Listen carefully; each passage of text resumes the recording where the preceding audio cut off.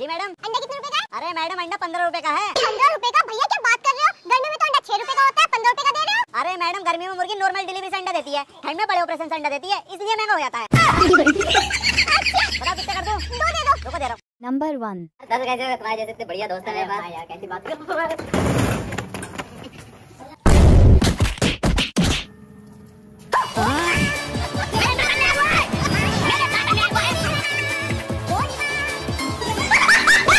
Number 2.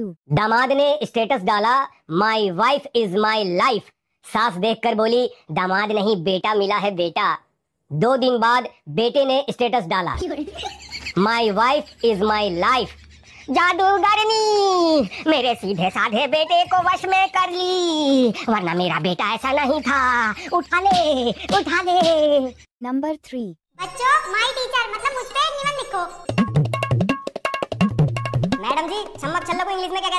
हैं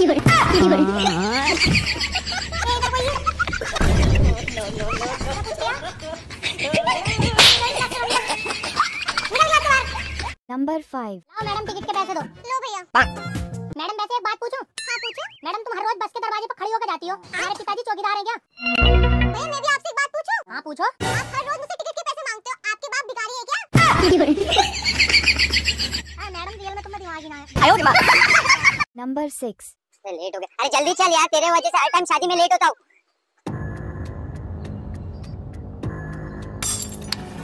चल चल चल चल लेट हो रहा है। जल्दी चल जल्दी चल लेट हो रहा है भाई। चल जल्दी जल्दी जल्दी चल। Number 4. अरे भैया पर्चे का सामान निकाल दियो जरा। अरे भैया ऐसी पढ़ के बता दो। एक तो पार्ले जी वाला बिस्किट। ठीक है। अच्छा और? और एक रुपए वाली टॉफी। अच्छा और? बस भाई साहब हिसाब जोड़ दो।